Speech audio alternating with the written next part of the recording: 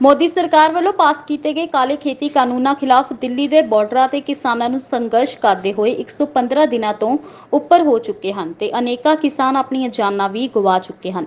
ਪਰ ਮੋਦੀ ਸਰਕਾਰ ਕਿਸਾਨੀ ਅੰਦੋਲਨ ਨੂੰ ਲੈ ਕੇ ਆਪਣਾ ਅੜੀਅਰ ਰਵੱਈਆ ਕਰੀ ਬੈਠੀ ਹੈ ਜੋ ਕਿ ਕਾਰਪੋਰੇਟ ਘਰਾਣਿਆਂ ਮਗਰ ਲਾ ਕੇ ਖੇਤੀ ਕਾਨੂੰਨ ਰੱਦ ਨਹੀਂ ਕਰ ਰਹੀ।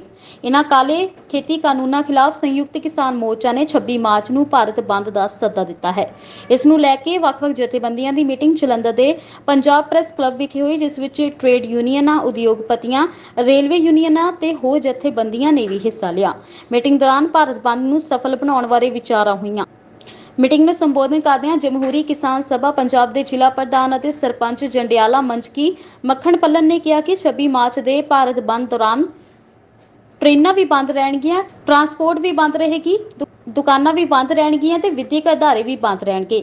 ਉਹਨਾਂ ਸਾਰਿਆਂ ਨੂੰ ਭਾਰਤ ਬੰਦ ਨੂੰ ਸਫਲ ਬਣਾਉਣ ਲਈ ਸਾਥ ਦੇਣ ਦੀ ਅਪੀਲ ਕੀਤੀ। ਪੰਜ ਜੰਡਿਆਲਾ, ਜਮਹੂਰੀ ਕਿਸਾਨ ਸਭਾ, ਪੰਜਾਬ ਜ਼ਿਲ੍ਹਾ ਪ੍ਰਧਾਨ। ਅੱਜ ਅਸੀਂ ਪ੍ਰੈਸ ਕਲੱਬ ਦੇ ਵਿੱਚ ਇੱਥੇ ਇਕੱਤਰ ਹੋਏ ਆ ਇਹ ਮੈਸੇਜ ਦੇਣ ਦੇ ਲਈ ਕਿ 26 ਮਾਰਚ ਨੂੰ ਜਿਹੜਾ ਭਾਰਤ ਬੰਦ ਦਾ ਸੱਦਾ ਦਿੱਤਾ ਗਿਆ ਆ, ਉਹਦੇ ਲਈ ਅਸੀਂ ਟ੍ਰੇਡ ਯੂਨੀਅਨ ਵਾਲੇ ਵੀ ਸਾਥੀ ਇੱਥੇ ਇਕੱਤਰ ਹੋਏ ਆ ਰੇਲਵੇ ਵਾਲੇ ਵੀ ਆ, ਇੰਡਸਟਰੀਅਲਿਸਟ ਵੀ ਇਕੱਠੇ ਹੋਏ ਆ।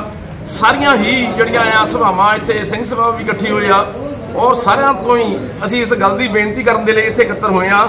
ਕਿ ਤੁਹਾਡੇ ਮਾਧਿਅਮ ਰਾਹੀਂ ਲੋਕਾਂ ਦੇ ਵਿੱਚ ਇਹ ਮੈਸੇਜ ਜਾਵੇ ਕਿ 26 ਮਾਰਚ ਨੂੰ ਜਿਹੜਾ ਭਾਰਤ ਬੰਦ ਹੋਣਾ ਆ, ਉਦੋਂ ਟ੍ਰੇਨਾਂ ਵੀ ਬੰਦ ਹੋਣੀਆਂ ਆ ਟਰਾਂਸਪੋਰਟ ਵੀ ਬੰਦ ਹੋਣੀਆਂ, ਰੇਲਵੇ ਵੀ ਬੰਦ ਹੋਣੀਆਂ, ਉਸ ਦਿਨ ਦੁਕਾਨਾਂ ਵੀ ਬੰਦ ਹੋਣੀਆਂ ਆ, ਸਾਰੇ ਵਿਦਿਅਕ ਅਦਾਰੇ ਵੀ ਬੰਦ ਹੋਣੇ ਆ, ਔਰ ਉਸ ਦਿਨ ਕੋਈ ਕਿਸੇ ਕਿਸਮ ਦਾ ਜਿਹੜਾ ਆ ਟਰਾਂਸਪੋਰਟ ਜਾਂ ਜਿਹੜਾ ਕੋਈ ਵੀ ਅਦਾਰਾ ਜਿਹੜਾ ਆ, ਉਹ ਨਹੀਂ ਚੱਲੂਗਾ। ਇਹਦੇ ਲਈ ਅਸੀਂ ਤੁਹਾਡੇ ਮਾਧਿਅਮ ਰਾਹੀਂ ਲੋਕਾਂ ਨੂੰ ਇਹ ਬੇਨਤੀ ਕਰਦੇ ਆ ਕਿ 26 ਮਾਰਚ ਦਾ ਜਿਹੜਾ ਭਾਰਤ ਬੰਦ ਆ, ਉਹਨੂੰ ਕਾਮਯਾਬ ਕਰਨ ਦੇ ਲਈ ਤਨਦੇਹੀ ਦੇ ਨਾਲ ਸਾਡਾ ਸਾਥ ਦਿਓ। ਧੰਨਵਾਦ।